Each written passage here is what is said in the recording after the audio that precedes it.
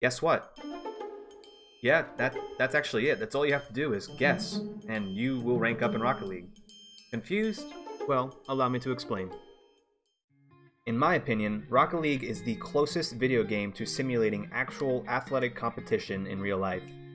There's a lot of mechanics, there's a lot of thinking, there's a lot of moving, it's quick, it's fast paced, your car moves exactly how you want it to, if you're good enough. So I set out to find if there was any correlation between real life, high speed, superior athletic performance and not real life, semi athletic, but definitely high speed Rocket League. And I actually found a big one.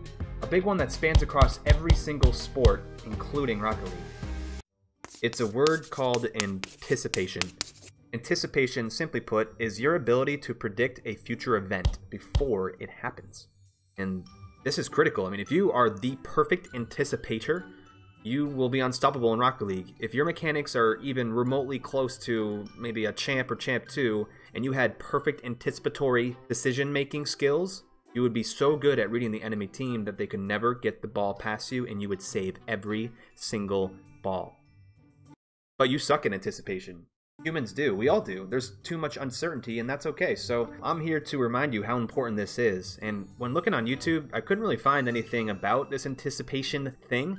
And I actually just found a lot of things that related to mechanics, and mechanics are great and important, and probably the most important thing to train for the masses. But if you're like me and want to squeeze every ounce of potential talent from the banks of your conscious and subconscious mind, aka try hard, then you'll appreciate this video.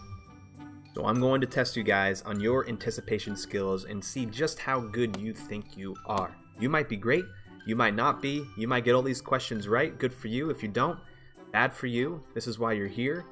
And test number one begins now. What word am I going to say next? Subscribe. But seriously, do it. Alright, let's begin.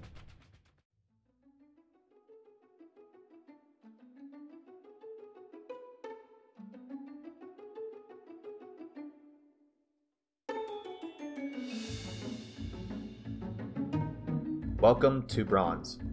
We're going to go through every Rocket League rank. We're going to look at specific plays that happen in each rank. We're going to take a few tests, and then we'll summarize at the end of each rank. Alright, so you're here on defense. The ball is above you. You're in your corner, not the best spot to be. You see one blue guy in your peripheral, and we move the ball forward. Your teammate bumps you, and we're going to pause it right here. Take in all the info you can. Rewind the video, pause the video, think about it,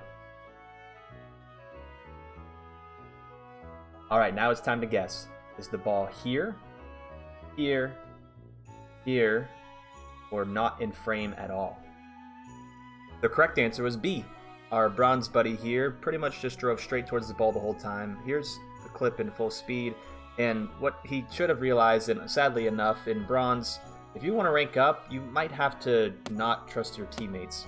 Get your mechanical skills up, but you need to expect the worst case scenario from your teammates and be there when they make mistakes, and you'll start to rank up.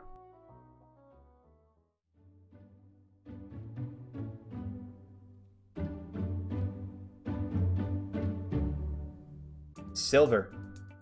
Not too different from bronze. There's a slight increase of mechanical ability, a slight increase of game sense, but there isn't too much of an increase of anticipation. There's a lot more reaction and not a whole lot of anticipation type movement. So let's check out this clip. We're gonna start, we're gonna see this guy moving upfield, we're gonna see the ball go, and boom. All right, take your time.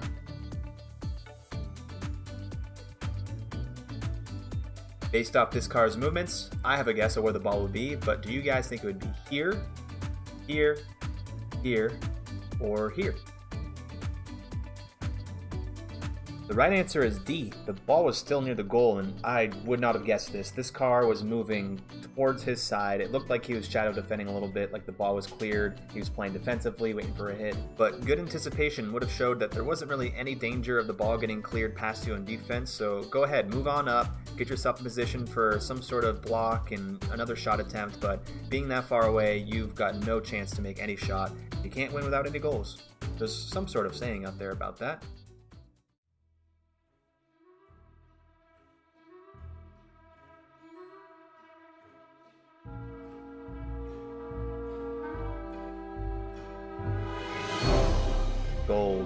Ah, what a place to be. A place where mechanics are a lot better, trust is not better, so there's a lot of double commits, where aerials are still a bit scary, but we're starting to see some actual Rocket League coordination, and it's it's awesome.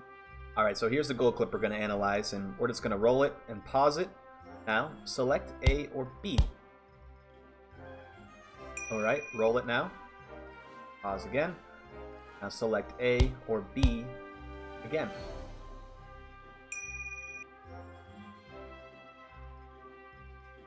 Great, so our Golden Gamer made every decision correctly. He moved down the field and got closer to the play. He anticipated the play perfectly. He watched his teammates, he watched the ball, he watched the enemies. He made every decision perfectly.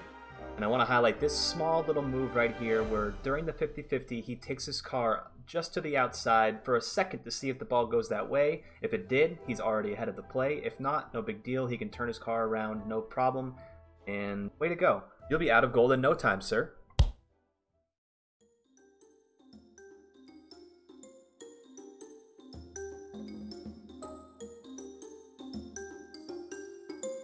Good old Platinum. Such a nice place. People are starting to get a lot better. People are starting to get a lot angrier at their teammates. And people are starting to care a little more. I like you people. You people have a lot of potential. Let's look at your potential right now. Here's our wacky inflatable platinum player. And we're to do another one of those tests where we block the screen. And here we go. So screen's blocked, the car is moving, he's inching forward and forward and forward, and where's the ball? here, here, here, or here.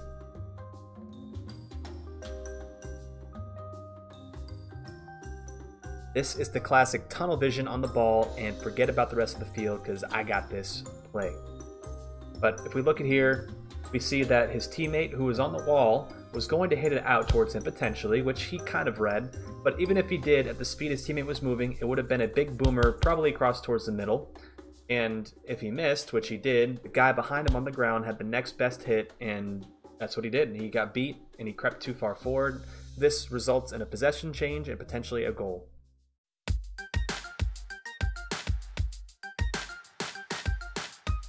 Welcome to Hell. I mean, Diamond. Welcome to the best zone in Rocket League, Diamond. It's not great for a lot of people, and that's because there's a lot of different gameplay, a lot of different game styles. There's a big difference in mechanics. You're starting to be more aware of your teammates and what they're doing, and most of all, you just want to get better, and so you start to scrutinize yourself a lot more. But all of this can be made better with better anticipation. Alright, so here's our diamond clip. We're gonna roll it until I say pause. A quick glance at the screen. Where should our boy go? Right or back? I'm giving you a longer look than you would get in a game. And we can see that we have a guy in goal who's ready to get the ball next. We can see that the orange team, the guy is flipping and won't be able to get enough control quick enough. We have the opportunity to move upfield because our goalie might come out and hit this up towards us and set us up for the next shot. Things move a lot quicker in this game, so make sure to pay attention to every small input you can get so you can anticipate the next shot.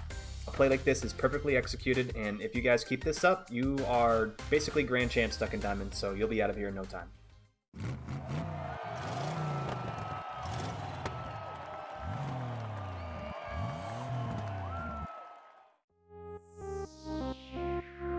champion.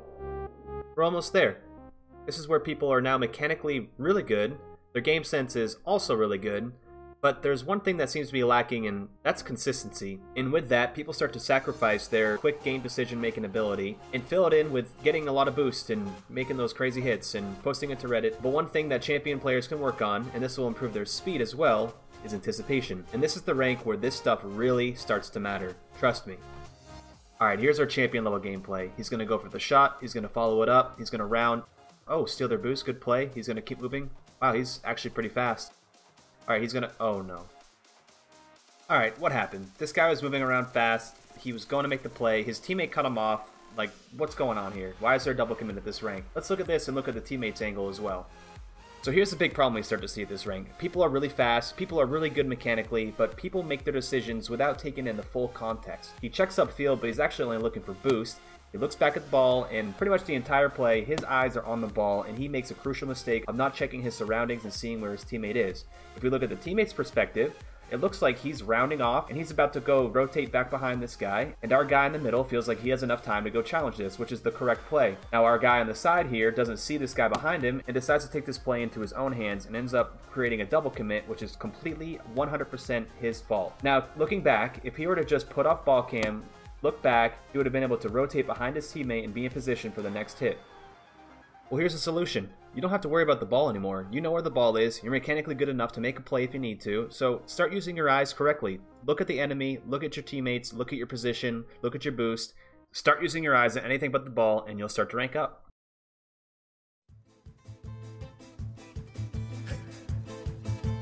Grand champion.